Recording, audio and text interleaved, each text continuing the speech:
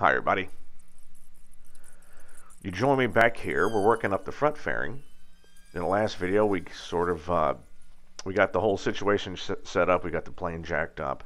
The tail is tied down, so that nose there is not touching the ground, right? The, so the nose tire there, it's basically in free, it's free hanging, right?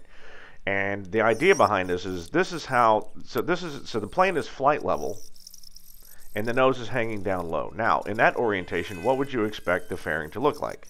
Well, you would hope that it would be level with the other fairings, right? And that's basically exactly what Vans has you doing, right? So you got the nose off the ground for a reason.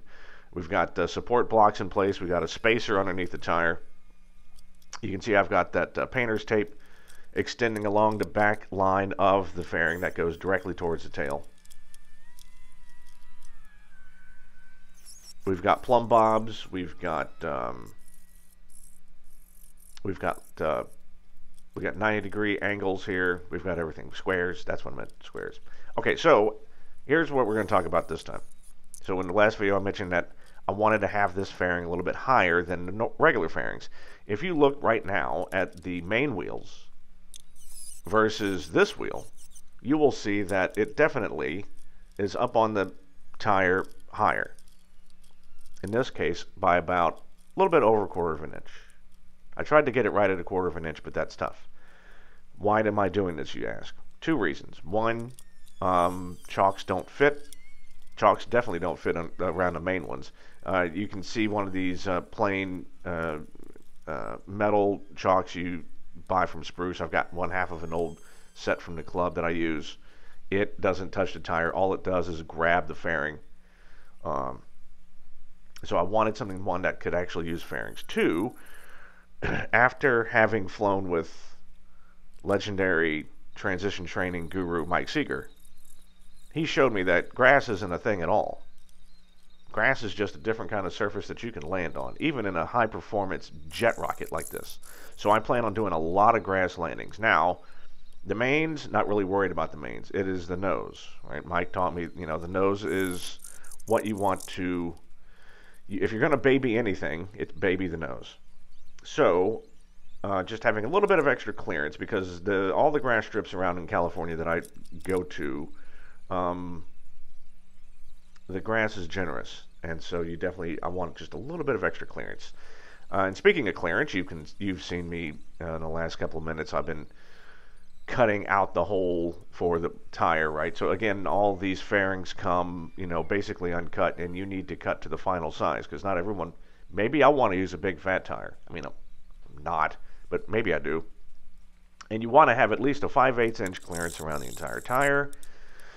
Thus, the Dremel is out and we are cutting away. Now, there is challenges with raising the fairing higher. Uh, mostly that one, uh, the top of the fairing is normally going to be right at the bottom of the vertical piece of the nose strut so that the the turning radius is, is pretty easy and there's not a lot of uh, metal getting in the way and you don't have to worry about it hitting anything. With it being raised higher like this, you can see it's much higher on that leg, so we are going to have to cut out more uh, fiberglass to keep it from hitting the gear leg as the wheel is turned left and right. That and we are going to have to make an adjustment on the front leg. So uh, if you look at the front leg there, you can see, uh, I'm sorry, front leg fairing. So if you look at the front leg there, you can see the two little pieces of metal near my head that jut out from the bottom. Those hold nut plates, right? And the nut plates will have a screw on each side going from the nose leg fairing into there, right? That's one of the places that it's secured. Well, normally the fairing is beneath that by you know, an extra quarter of an inch. So I basically, well, a little bit lower than that even. So I'm basically having to cut at least a quarter of an inch off the bottom of the gear leg fairing, or it won't even fit at all. So there are adjustments. Uh, here you can see I have match drilled, so the support brackets underneath, I've, I've match drilled holes from the fairing into there. Normally you're supposed to do them all at once, but I found if I just drilled the holes in the support brackets first, then I could actually see them.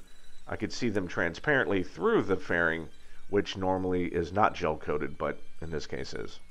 Anyway. All right. Uh, let me see. In the next video, we are going to go back to the panels. So thank you for joining me, everyone. See you soon.